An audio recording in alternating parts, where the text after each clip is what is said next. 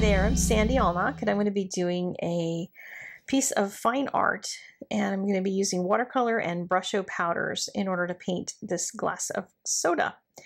The verse is Proverbs 11:25, "A generous person will prosper; whoever refreshes others will be refreshed."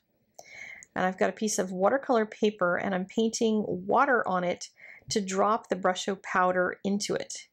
This is watercolor powder, so it turns into watercolor as soon as it starts to get wet. So I make a pool of water and then I can move the color around within it. Some of it will stay granulated, some of it will not. And it's just a fun way to do some interesting painting. A lot of people will just do background types of things and paint starry skies with it, but I like to do a little bit of controlled painting with it by giving it water to stick to because it won't stick to the paper. I can blow off any of the powder that sprinkles elsewhere onto it. So you can just watch as the glass of ice magically starts to appear as I do my painting. While I tell you why I've chosen to do this glass of Coke. I'm a Cokeaholic for one. So when my worship pastor had mentioned at one point how he was praying for the Lord to empty out the ice in his glass in his life because he felt like he was taking up so much space. There was not enough room for the Lord to pour the Holy Spirit into his life. He just had too much ice. And that was his prayer for us that Sunday was that God would just release us to make more room for him in our lives and in our hearts. And I couldn't get that image out of my head. And then at another point, I ended up taking part in a Bible lettering challenge, and this verse from Proverbs was used. And I thought, this is what I want to do with it. I want to use this glass because I've really wanted to paint this glass. And, and you know, since I'm a Cokeaholic, that's what I decided to do. So I'm adding, using a little bit of kyanite in the Daniel Smith watercolors, that is that blue, uh, for the bubbles on the top, and then I'll use a little of that for the lettering as well and the rest of this will be brusho. I'll add a little bit of water down at the bottom so it makes it look like there was a little bit of spillage maybe and add some drops onto the side of the glass, that sort of thing.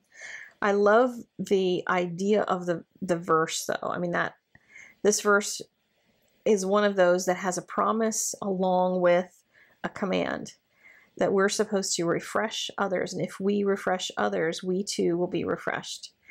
And for me, there is nothing more refreshing than a big old glass of my favorite beverage. So you can imagine this is iced tea or something if that is your favorite beverage. But remember that the point is not your beverage, it's the fact that God will refresh you. If you give generously to others, and I'm really big on charity. If you followed my other channel and my blog, I do on a regular basis a variety of fundraisers for different charities and try to get my followers to help out because we can do more if we do it together. And if you have a cause that has been nagging at your heart in, in recent times before you've watched this video, if there's something where you've thought, you know, I really should help out with such and such a cause, whatever that thing is, whether it's that person, that homeless person you've seen recently that the Lord just tugged on your heart and said, I should do something.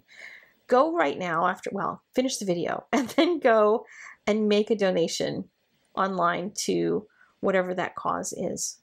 And take that action right away. Don't wait to do it. And look for God's refreshing afterward. Sometimes it's just that feeling in your heart where you feel lighter, you feel like you've made a difference, you feel like it, it just feels good to give. And other times he's going to find a different way to refresh you.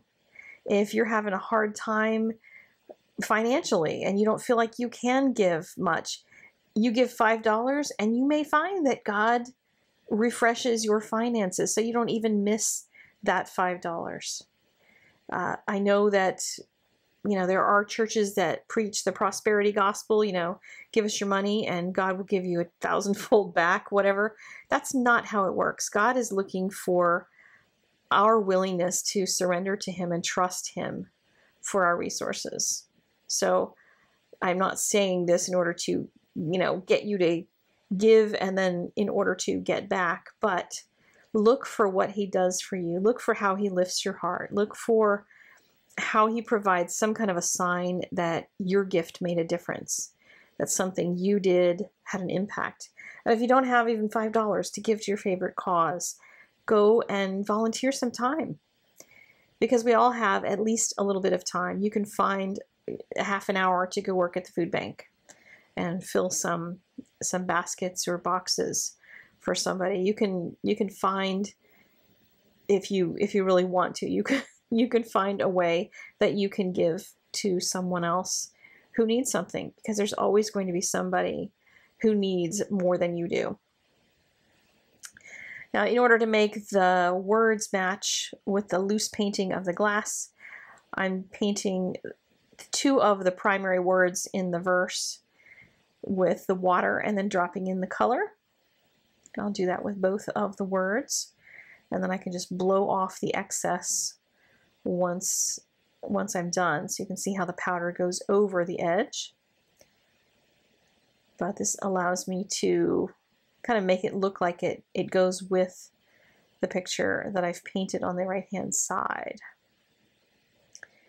And you don't always have to do these things in your Bible. You can do them outside of your Bible like this and add lots of bubbles. I'm going to add lots of little blue bubbles with the kyanite. Kyanite is a color that has a little bit of shimmer to it, as well as uh, being a beautiful granulating color, which means it has a nice texture to it. And I'm just kind of painting some bubbles and lifting off any excess. So if I have too rich of color, then dabbing it off will will work. The Brusho doesn't really dab off very much. It's heavily, heavily pigmented as you can see. Really strong color. Now I did do this one also in my Bible. So in addition to having a piece on my wall, I have it in a different place in my Bible, but that one was done with just regular watercolors and with a different verse. And that's about it for today. So I hope you enjoyed this little journey with a glass of soda with me. And if you would like to subscribe to my channel, please do that. Watch some more videos. And I will see you next time. I hope you have a great week. God bless you. Bye-bye.